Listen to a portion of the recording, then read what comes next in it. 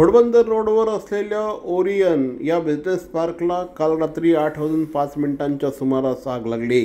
या आगीमध्ये जवळपास ऐंशी ते नव्वीस नव्वद ऑफिसेसचे गाळे हे आगीच्या भक्ष्यस्थानी पडले आहेत. काल ही आग लागल्यानंतर ही आग चांगलीच भडकली. रात्री उशिरापर्यंत ही आग विझवण्यासाठी प्रयत्न सुरू होते. ठाणे महानगरपालिकेचे अधिकारी या ठिकाणी तातडीने पोहोचले. मात्र महानगरपालिकेच्या कर्मचाऱ्यांमध्ये अधिकाऱ्यांमध्ये कुठल्याही प्रकारची सुसूत्रता नव्हती. महानगरपालिकेचे आगीचे बंब होते मात्र त्यामध्ये पाणी नव्हतं. अशा प्रकारचे आरोप आमदार जितेंद्रराव व्हाड यांनी केले आहेत.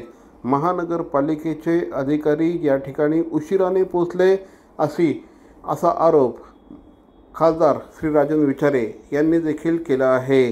महानगरपालिकेच्या या अक्षम्य अशा प्रकारच्या दिरंगाईमुळे या ठिकाणी प्रचंड मोठं नुकसान झालं असल्याचा आरोप देखील आमदार श्री जितेंद्रराव व्हाड यांनी केला आहे. या ठिकाणी असलेल्या पझल पार्किंगमध्ये ही आग भडकली.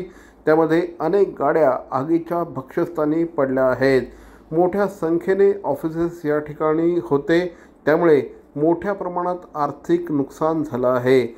ज्या वेळेस ही आग लागली त्यावेळेस या ओरियन बिझनेस पार्कमध्ये अनेक कर्मचारी काम करत होते. पोलिसांनी अक्षरशः जीवावर उदार होऊन सगळ्यांना या ठिकाणी बाहेर काढलं. त्यामुळे कुठल्याही प्रकारची जीवितहानी झालेली नाही. मात्र अनेकदा फोन करून देखील या ठिकाणी प्रशासनामध्ये सुसूत्रता नव्हती. अशा प्रकारचा आरोप राजकीय नेत्यांकडनं करण्यात येत आहे. खासदार राजन विचारे त्याचप्रमाणे आमदार जितेंद्रराव आव्हाड यांनी देखील याबाबत अतिशय संतप्त प्रतिक्रिया दिली आहे. फायर ऑडिट या ठिकाणी झालं गेलेलं नाही आणि साधी लागलेली आग तुम्ही बघताय जवळजवळ आठ वाजून पाच मिनिटांनी आग लागल्यानंतर आज जवळजवळ सव्वा दोन झालेले आहेत. अजूनही ती आग आटोक्यात येत नाही.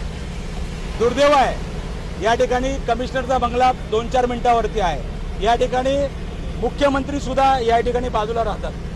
परंतु त्यांना सुद्धा ते गाढ झोपेमध्ये जातात परंतु आज म्हणजे प्रजा आज या परिस्थितीमध्ये राहिली की या ठाणे महापालिकेला कोणी वालीच नाही.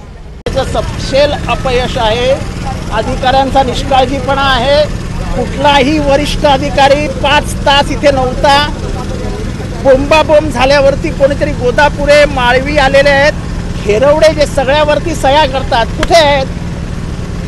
झळके. किती फायर ऑडिट केलं मी मगासपासून बोबलून सांगतोय ही आग आत्ता जी पेटते ती छोटी होती. की ती पहिली बुजवा ही पेटणार. हॅलो कॉलिंग झळके. हॅलो कॉलिंग झळके. साहेब इथे आगे. पोचतोय पोचतोय. ती बघा आग कशी भडकली आहे. एक तर इनएक्सपिरियन्स्ड अधिकारी आहेत. कोणालाही कुठल्याही सिक्युरिटीची वगैरे काहीही कल्पना नाही अभ्यास नाही आहे. अशीच आग. जर एखाद्या गृहसंकुलात लागली तर काय परिस्थिती होईल? फळांचा राजा अर्थातच आंबा आणि आंब्यांचा राजा अर्थातच हापूस आंबा. मग हापूस आंब्यांचा राजा देवगडचा हापूस.